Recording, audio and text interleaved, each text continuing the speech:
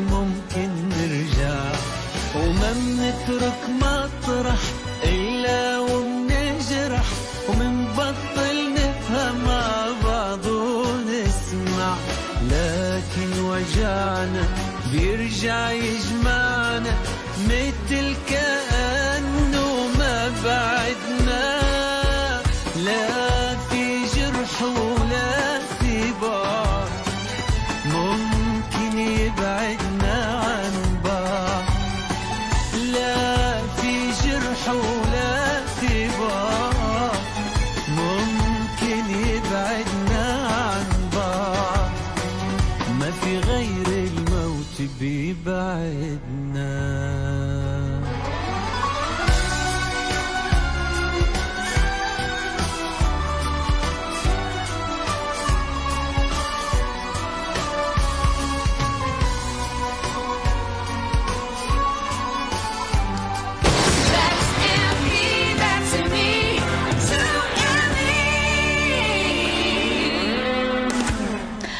تحياتنا الصباحية بنوجهها لكل مستمعين راديو 2ME أستراليا اللي عم يرافقونا بخلال هالوقت وعبر شبكة الإنترنت 2ME dot com dot au عبر صفحة 2ME أستراليا. بيسعدنا بخلال هالوقت نستقبل معنا مباشرة على الهواء الخبير السياسي والاقتصادي دكتور نبيل بوغنطوس معنا مباشرة على الهواء. مساء الخير لك دكتور نبيل وصباح الخير لك من أستراليا. صباح النور إليك وللمستمعين شكرا دكتور نبيل. اليوم وضعت الموازنة من بعد عدد من الجلسات.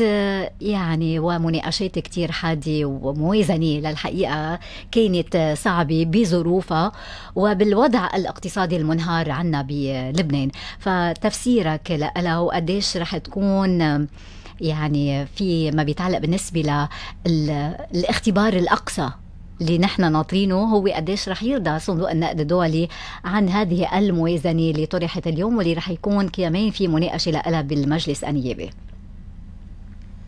أه بقدر أقول لك أه مدام شغلة وحدة إنه دولة الرئيس نجيب مئاتي بس خلصت الجلسه أعطى تصريح بالقصر وتحدث للشعب اللبناني عن هالموازنة وبشغله كثير مهمة. كان لها ردود فعل إذا بدك سلبية إنه طلب من الجميع نتحمل. يعني الشعار كان إنه ما نضحي بدنا نتحمل كلنا سوا. بعد أكثر من هيك وقال إنه في عنا ثلاث سنين صعبين. ودغري يعني ساعات قليلة كان ردة الفعل بالشارع مش مرحبة ابدا. هلأ غير إنه الوزراء. حتى بعض الوزراء ما كانوا راضيين عن ارقام وزاراتهم هلأ نظرة سريعة على الموازنة. فينا نقول إنه هذه موازنة مبنية على تقديرات من دون معايير علمية للنفقات ولا حتى للواردات. يمكن لأول مرة بنشوف نحن موازنة ما فيها فرض ضرائب جديدة مش مخترعين ضرائب جديدة أو إلى آخره من الأشياء الزيادات الضريبية. بمعنى مثل ما كل مرة بصير إنما في فخ كتير كبير ربط بعض الأمور من خلال مثلا تحديد الرسوم وجباية بعض الضرائب وربطها بالدولار. وسعر الدولار على المنصات الموجودة المتعددة عندنا بالبلد وهذا كمان رح يشكل كثير مشاكل بكرة بالتطبيق والتنفيذ نعم. إذا بنطلع يعني بنشوف الضرائب ما في حسبة ضرائب نقدر نحن نقول إنه بتخ... بتخوف ولا رسوم بس في شغلة كثير مهمة إنه مثل ما قلنا إنه عملية ربطها بسعر الدولار بسعر صرف الليرة اللبنانية. لعنا إعفاءات كثير مهمة طالت أصحاب المداخيل المرتفعة.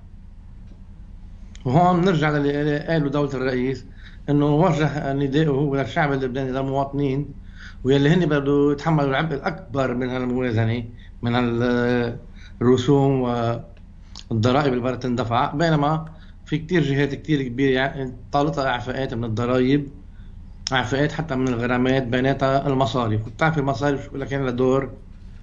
اقتصادي سلبي بالفترة الأخيرة نعم. من خلال الحجر على ودائع المواطنين. هلا الفخ الثاني إنه عملية إقرار سلسلة الكهرباء. تم إقرار السلفي للكهرباء على مدة خمس سنين طويلة الأجل بحدود ال 5250 مليار ليرة إنما من خارج الموازنة. هذا الشغلة تم إقرارها حتى يتفادوا يمكن نوع من الصدام مع صندوق النقد نعم. يعني ما دخلوا دغري مباشرة بقلب الموازنة. هلا بالنسبة للأرقام في عندنا مثلا 150 مليار مساعدات للأسر الأكثر حاجة. عندنا 200 مليار لمعالجة تداعيات كورونا. في عندنا أرقام مثلا 100 مليار ترميم بعض المناطق اللي تهدمت أو تضررت من جراء انفجار بيروت.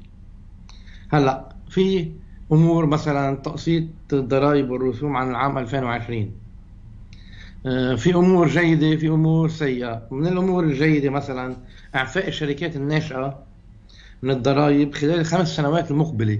الشركات المتوسطة والصغيرة. عظيم. شرط شرط إنه يكون 80% وأكثر من 80% من الموظفين فيها من اللبنانيين.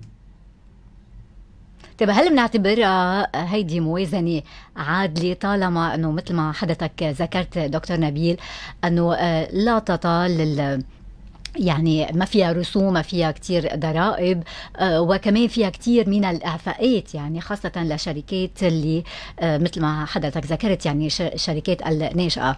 آه، فهل برأيك هيدي موازنة ممكن ترضي ال- الناس وممكن كمان يكون في أصداء إيجابية لها من خلال يعني كمان اليوم مثل ما سبق ذكرت صندوق النقد كيف بتتوقع تكون ردة الفعل اللي رح تكون من صندوق النقد الدولي؟ مدام كلود العبرة بالتنفيذ. اليوم الموازنة بالمواد اللي طلعت فيها فيها فخين في عندنا المادة 109 بتمهد لأنه تمنح وزير المالية الحق استيفاء الضرائب بالدولار. امم هيدي أول مرة. هاي شغلة جديدة عندنا بلبنان. في عندنا المادة 133 كمان بتحدد له آه، سعر تحويل العملات الأجنبية. يعني عملية آه، الدولار الجمركي الضرائب والرسوم. اللي رح يتم استيفائها بالدولار. على أي أساس على أي منصة على أي سعر نعم. وبالتالي اليوم فيها أفخاخ. وبالتالي كمان آه، بتصور أنه صندوق النقد ما رح يكون راضي كتير بهالشكل. طيب ونحن الاتكال كله اليوم على صندوق النقد الدولي لحتى لبنان يلقى الدعم. يعني كيف رح يقدر يواجه لبنان هذه المصاعب برأيك بالمرحلة المقبلة؟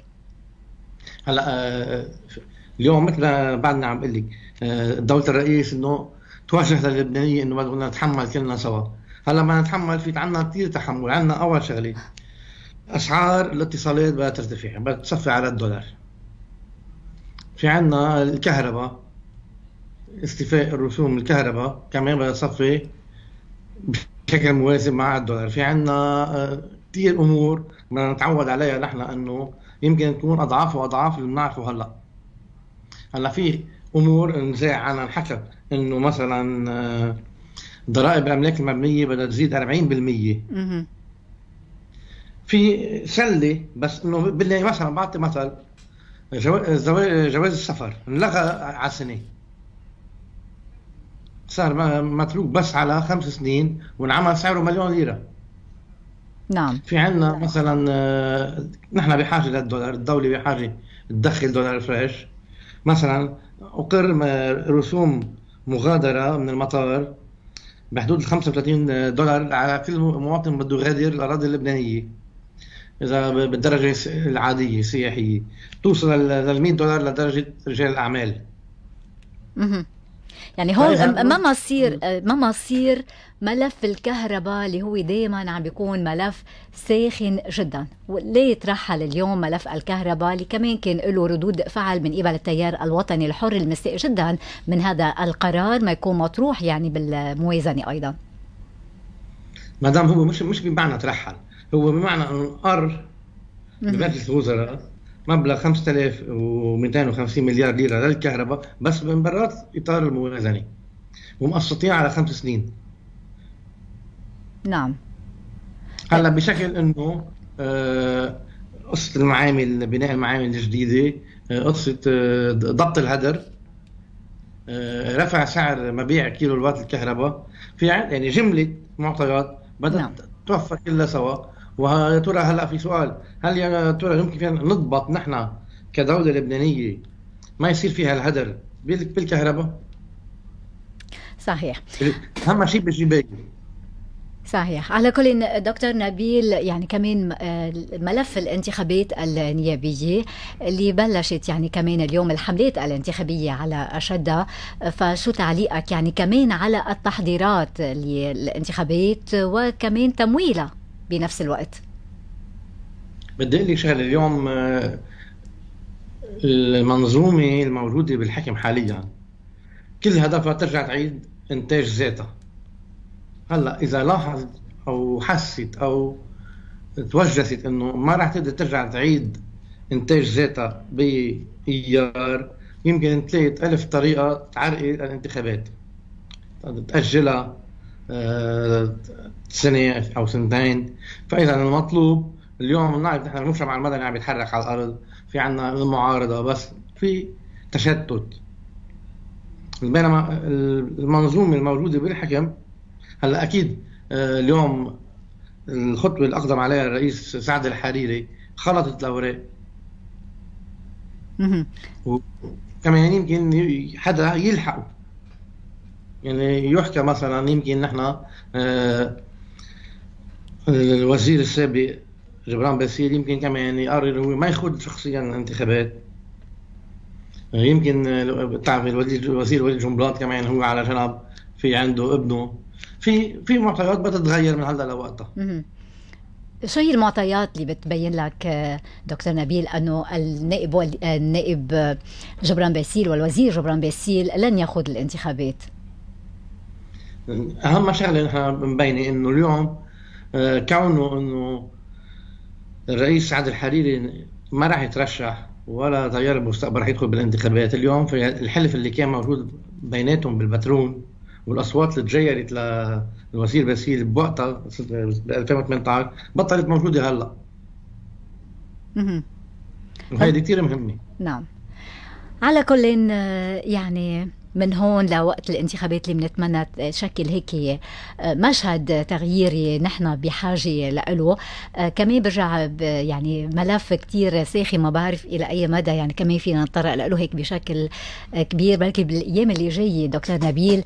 بس هيك باخذ هيك لمحة منك حول ملف ترسيم الحدود اللي كمان هو ملف اليوم مطروح على الطاولة. كيف بتشوف يعني الموفد ال- الأمريكي اللي هو طبعا كان بزيارة للبنان؟ للوساطه الأمريكية بملف ترسيم الحدود، هل رح نوصل لخواتيم إيجابية؟ لأنه هيك شاعت أجواء نوعا ما إيجابية بالإجتماعات والمباحثات الأخيرة؟ صحيح 100% مدام كلود. اليوم آه، هلأ بالساعات الأخيرة في توقعات إيجابية بتقول إنه خلال أسابيع وماكسيموم شهرين المفروض يكون الموضوع ترسيم الحدود البحرية انتهى. هلا أو توقف الموضوع لمدة س- سبعة أشهر.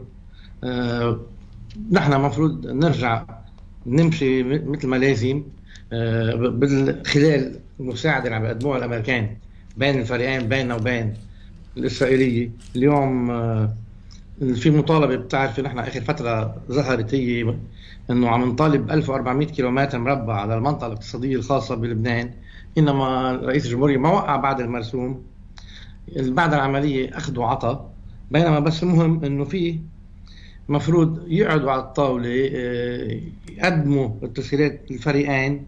بالتعامل مع ال- الوسيط الأمريكي حتى إنه المناطق اللي عليها نوع من التنازع يبلش فيها التنقيب عمليات الحفر عمليات البحث ولو كان بعد ما خلصوا وضع الخرائط النهائية نعم يعني مش مفروض تضل الأمور تتأخر أكثر من هيك. بس يبدو إنه في مسار إيجابي يعني هل قرأت بموقف سيد حسن نصر الله الأخير من خلال المقابلة اللي كانت أجريت معه أنه المقاومة لا تتدخل بمسألة ترسيم الحدود البحرية؟ هل في أبعاد لهذا الموقف؟ يعني بيتركوا للدولة اللبنانية هذا شأن الدولة اللبنانية. هل لهذا الموقف لسيد حسن نصر الله أبعاد معينة؟ لا لا ما في ما في ما في لها خلفية. آه، من الأساس من أول ما بلشت هذه المفاوضات. آه، حزب الله ما عم يتدخل بشكل مباشر.